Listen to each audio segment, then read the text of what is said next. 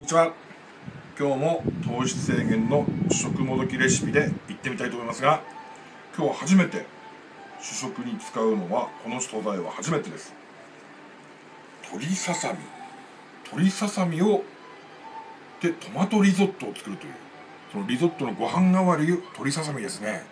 僕鶏肉大好きですんですごく楽しみです。頑張ります。食材。鶏ささみ。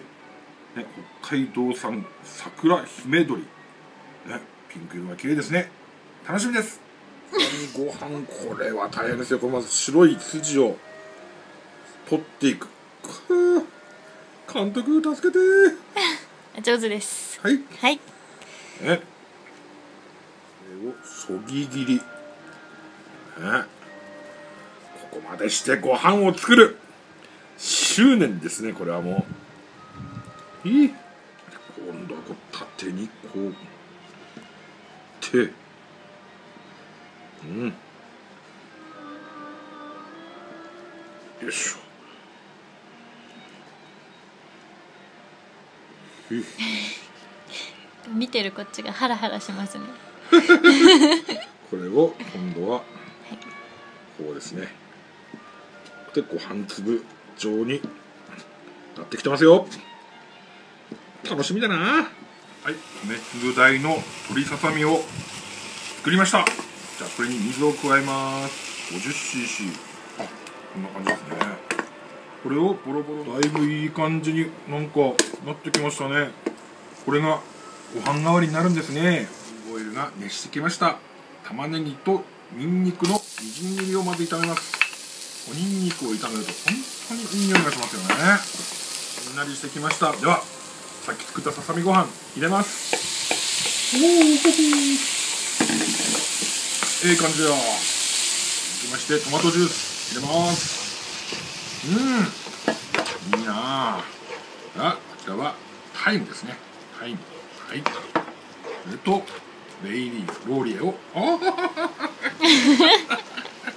失礼しました。ちょっと待ってくださいね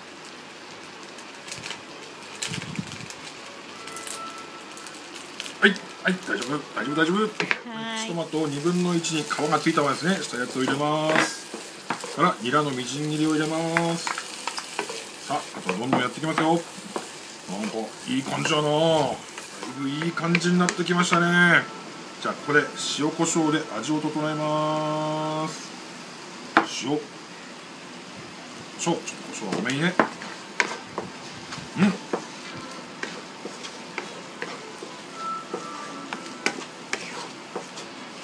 あいい感じになってきました。これは完成ですねそろそろ。それでは、えー糖質制限食もどき鶏ささみでトマトリゾットリゾット完成しました。いただきます。おしゃれだよななんか。